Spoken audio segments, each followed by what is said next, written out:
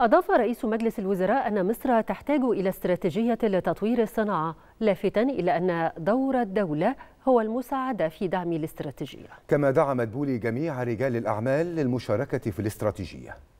مصر محتاجة استراتيجية لتطوير الصناعة. وأنا يعني أنا بنتهز فرصة أنا عارف إن الباشمهندس محمد السويدي رئيس اتحاد الصناعات موجود وكان قاعد معانا وحضرتك وكل الغرف الصناعة انكم نشتغل مع بعض على وضع الاستراتيجية. أنا مش يعني أنا ليس الهدف إن وزارة الصناعة هي اللي تقوم بهذه الاستراتيجية وتعدها. الهدف الرئيسي إن اللي يقوم بتطوير هذه الاستراتيجية هم رجال صناعة مصر لأن هم الأعلم ب يعني بوضوح شديد إيه هي المستهدفات وإيه المفروض تبقى ملامح هذه الاستراتيجية. وإحنا كدولة يكون دورنا إن إحنا ندعمكم ويعني نساعد في إطار وضع هذه الاستراتيجية.